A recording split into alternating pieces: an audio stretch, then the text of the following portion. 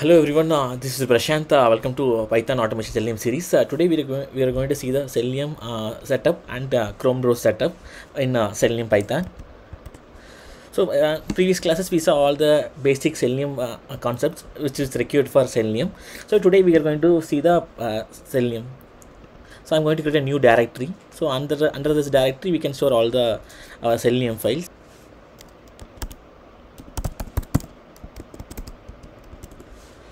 So under the Selenium directory, I'm going to create a first Python file. Right click on the directory, browser setup. Okay, this is the file. First of all, we need to know how to install a Selenium and how to install a WebDriver manager. So for installing a WebDriver Selenium, so we need to open the terminal. So in the terminal, we need to write. So if you are using a, a Mac, na write a pip3 if you are using a, uh, windows write a pip install selenium. Okay. So once typing this so it will install. After this we need to write pip3 install webdriver underscore manager. Okay. So this will install a webdriver manager. So this is the two uh, libraries we need for selenium. So right now we start a script so we need to import a selenium from selenium we need to import the webdriver after this we need to import a service so in service only we need to pass the chrome so selenium dot webdriver dot we are using a chrome so chrome service okay so i'm importing as a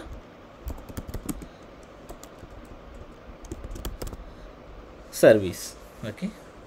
So next thing we need to import a WebDriver manager. So what is the use of WebDriver manager?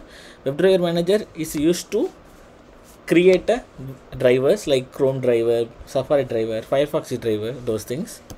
So WebDriver manager. So in this we are using a Chrome.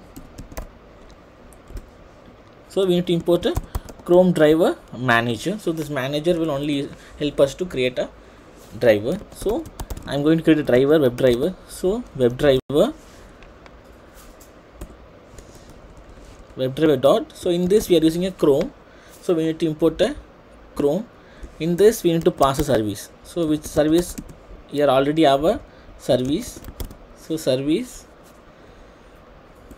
So in the service we need to call a chrome driver manager so if you are using firefox now we can use a firefox driver manager.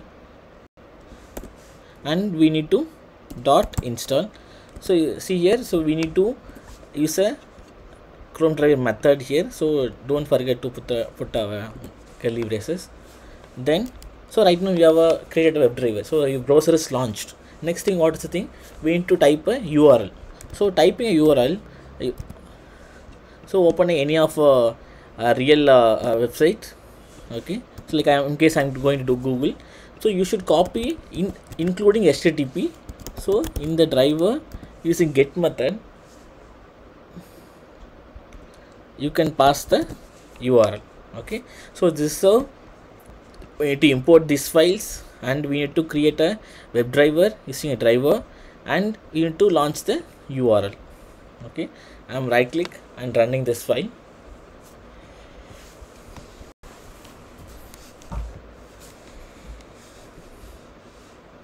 so this the file is started executing.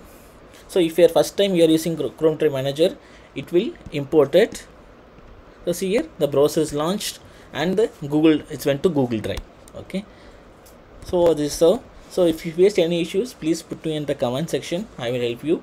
So in the coming sections we will see the remaining selenium concepts. Okay. Thanks for joining in. If you like the video please subscribe and share to your friends